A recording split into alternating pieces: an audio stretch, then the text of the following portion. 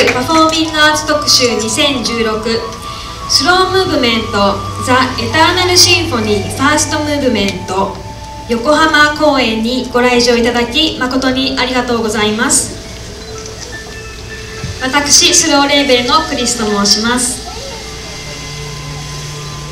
Slow Movement は年齢性別国籍障害の有無などを超えて集結した人々が街中でパフォーマンスを繰り広げることで多様性と調和のメッセージを広めていくプロジェクトです。さまざまな分野のクリエイターと市民がワークショップを重ねながら制作いたしました。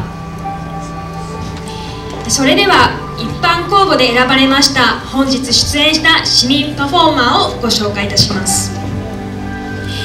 麻生正則。